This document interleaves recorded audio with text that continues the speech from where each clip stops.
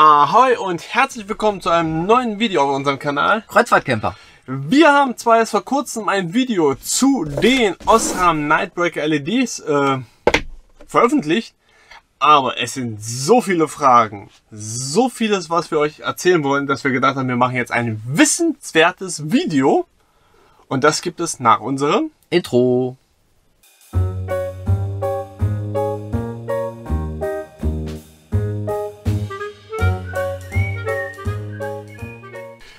Ja, vorgestern haben wir die Osram LED Nightbreak oder Nightbreaker LED H7 Leuchten eingebaut. Ganz wichtig, das ist hier keine Werbeveranstaltung für äh, diese Lampen. Wir sind bloß davon überzeugt. Das muss man dazu sagen. Wir wären auch nicht gesponsert, gar nichts. Und trotz allem dachten wir mal, es wäre Zeit für ein wissenswertes Video. Es ist das allererste, was unter der Rubrik wissenswert. Ich fand die Namen so schön, deshalb haben wir den so genannt. Eins wollen wir auch noch dazu sagen, also alles, was wir natürlich jetzt hier recherchiert haben und so weiter, das sind natürlich keine verbindlichen, rechtsgültigen äh, Hinweise, das muss man auch dazu sagen, falls also sich dort irgendwelche, äh, äh, ich sag mal, Gesetzesänderungen ergeben oder sowas, dann ist das natürlich auch immer, ja, logischerweise muss man da immer nachlesen. Genau, wir haben ein paar Punkte hier aufgeschrieben in unser wunderbares Wird Zeit zu reisen Regiebuch. Ja, Genau. Wollen wir auch immer sagen. Aber wir wollen nicht zu sehr abschweifen, wir wollen wirklich bei dem Thema LED Osram bleiben.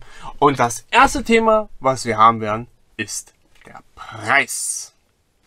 Das ist eine Thematik, der Preis, wo man immer sagt, boah, 110 Euro, boah, das ist doch so teuer. Und äh, wir blenden euch jetzt auch tatsächlich mal äh, einen Preisvergleich an. Und zwar H7 Halogen zu H7 LO, LED. LED, genau. Ich wollte schon LOD sagen.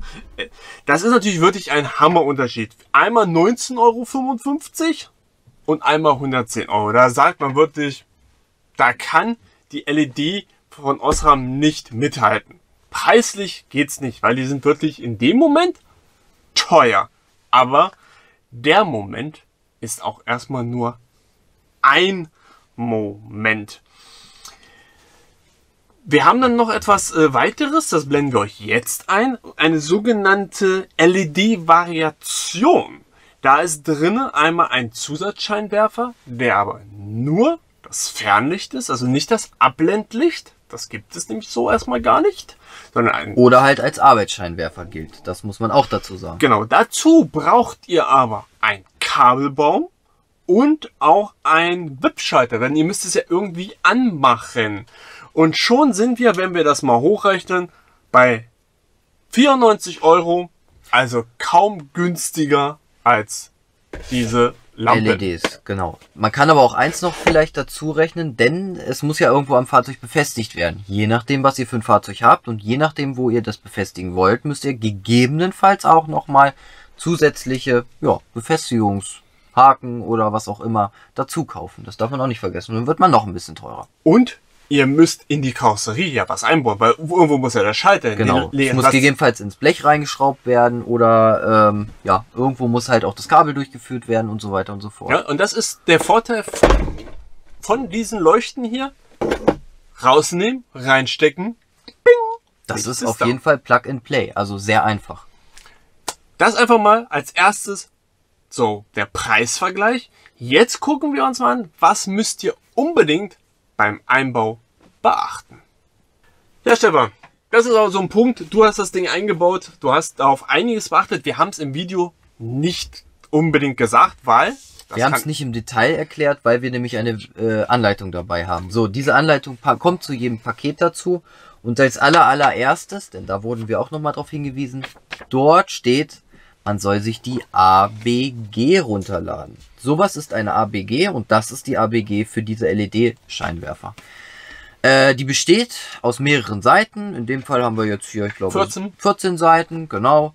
Die äh, beinhaltet dann, welche Fahrzeuge dazu zugelassen sind. Die beinhaltet, welche, äh, um welche Lichter es sich dreht und so weiter und so fort. Also das muss natürlich als allererstes erstmal runtergeladen werden. Und dieses macht man mit äh, einer Nummer, die auf dem also QR-Code, was auf der Packung drauf ist, also als Originallegitimation sozusagen. Und dann wird man im Endeffekt auf eine Internetseite geleitet, wo man dann die Packung mit den Seriennummern vergleichen soll. Die ähm, ganzen äh, ähm, LEDs haben sozusagen eine Seriennummer, die da drauf steht und die soll man als erstes vergleichen. Das haben wir natürlich getan und haben die dadurch dann erst eingebaut. So. Haben wir so nicht gesagt. Wir hatten nochmal auch einen Tipp bekommen, äh, weil wir das äh, in Genau. einem der Kommentare. Danke dafür für die Information. Auf jeden Fall, es ist nämlich sehr wichtig, das als allererstes zu machen und nicht die Dinge einzubauen und dann äh, hinterher zu merken, oh, jetzt muss ich diese Seriennummer nochmal prüfen, oh, jetzt muss ich es ja wieder ausbauen. Also auch wenn es schnell geht, aber die Arbeit, die kann man sich ja nun mal sparen. Genau, also wirklich so, wie es hier drin steht.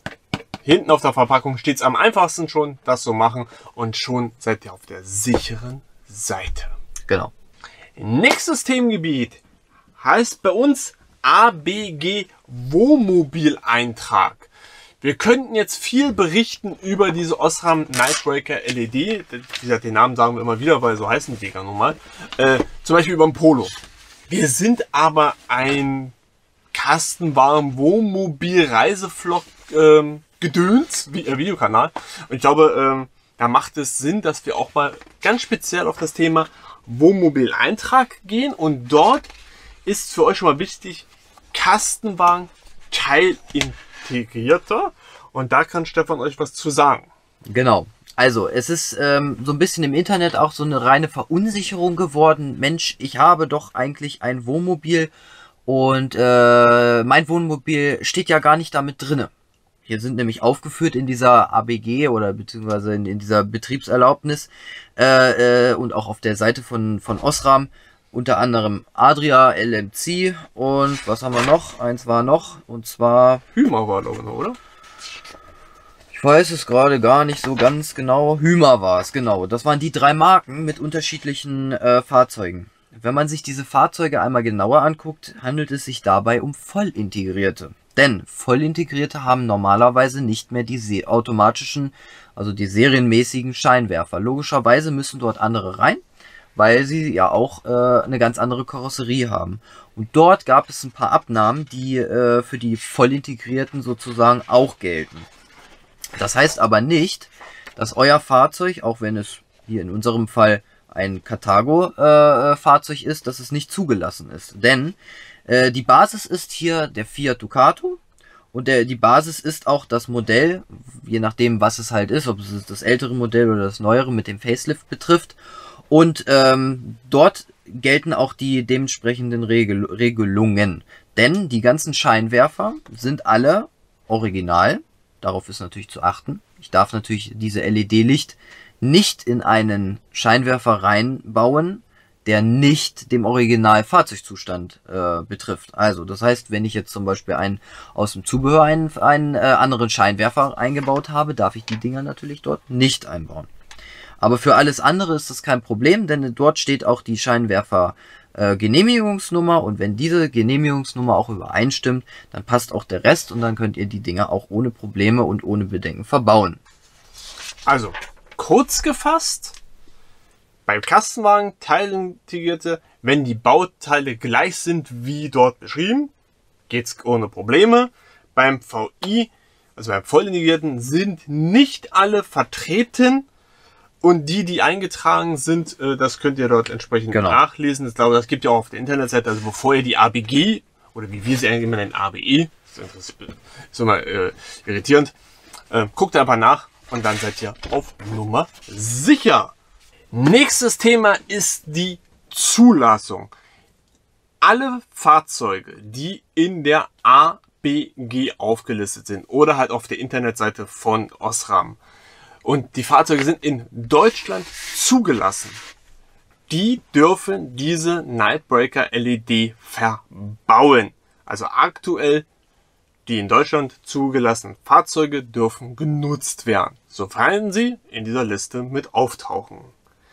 Wichtig dabei, ihr müsst einen Rechtslenker, äh, Lenker, kann man das so nennen? Also es ist ein Rechtslenker-Fahrzeug, beziehungsweise ihr müsst euch im Rechtslenkerverkehr, also im Rechtsverkehr befinden, um diese Dinger zu benutzen. Also Großbritannien, no, no, no. Das ist Linksverkehr und da müsst ihr die Dinger, wenn ihr dorthin wollt, in dem Fall dann ausbauen, in die H7 wieder zurückrüsten. Wenn Was? die H7 Halogen. Ich gerade sehe, wir noch nicht irgendwie als Vorteil hinterlegt haben. Das ist auf jeden Fall ein Vorteil, weil ihr braucht einfach nur die H7 dann in der Packung wieder reinpacken und wenn ihr nach England sollt, einfach wieder austauschen. Das ist das Schöne an diesen, an diesen Lichtern. Ihr könnt sie ganz einfach wieder Es austauschen. ist Plug and Play. Ähm, dann gab es eine Frage äh, bei uns im letzten Video, ob sie denn in Österreich zugelassen sind. Und da habe ich einfach mal, das blende ich euch gerade ein, äh, nach dem dritten Versuch äh, bei Osram Automotive bei Facebook habe ich sie einfach angeschrieben. Und da gibt's dann wirklich die Information, es wird schon bald ein Update geben. Also Osram ist dabei, auch in den anderen, in den anderen EU-Ländern äh, die Genehmigungsverfahren durchzulaufen. Da handelt es sich um Fahrzeuge, die in den anderen EU-Ländern zugelassen sind. Wenn ihr also in das EU-Ausland fahrt, ist das natürlich kein Problem. Dann sind die- diese Teile, weil euer Fahrzeug in Deutschland zugelassen ist und da gilt diese ABG natürlich auch, dann sind die natürlich zugelassen und da dürft ihr auch weiterhin damit fahren. Denn es be äh, ähm, betrifft dann den, wie heißt es, Bestandsschutz oder nee, Bestandsschutz ist es dann, wenn die äh, äh, Zulassung abläuft. Wie heißt es noch gleich? Den auf jeden Fall gilt, dass äh, im zugelassenen Land die, äh, ja, die Zulassung sozusagen. Alternativ, wenn wir den Die Regelung. Sollte uns der Begriff wieder einfallen, Dann schreiben wir den rein. ist ja aber schon längst angezeigt Genau. worden.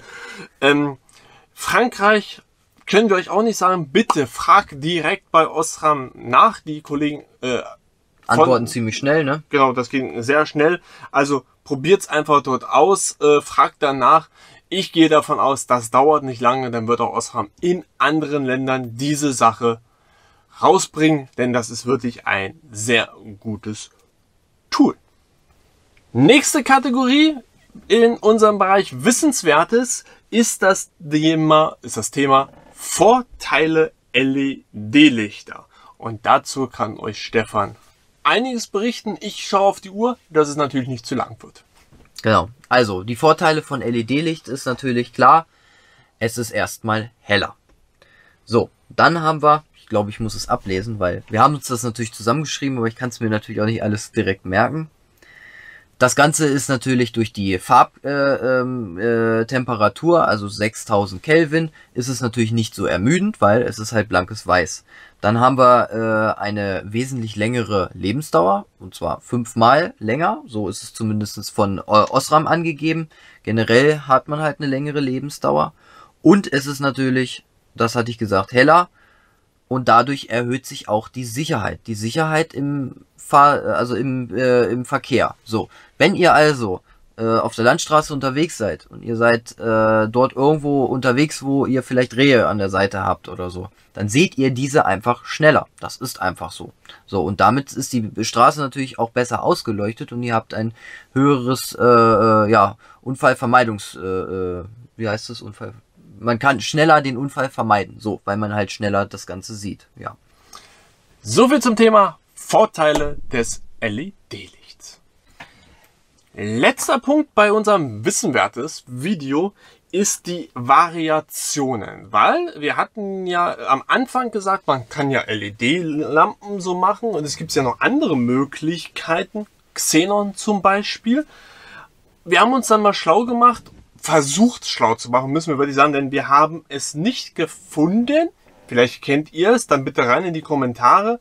Und zwar STVZO, STV, doch STVZO so nennt sich das, zugelassene LED-Scheinwerfer, also Wechselscheinwerfer, dass du Also sprich, den Scheinwerfer komplett auszutauschen. genau, Ja. die, die wir hier haben, rausnehmen, LED-Scheinwerfer reinzumachen, haben wir einfach nicht gefunden.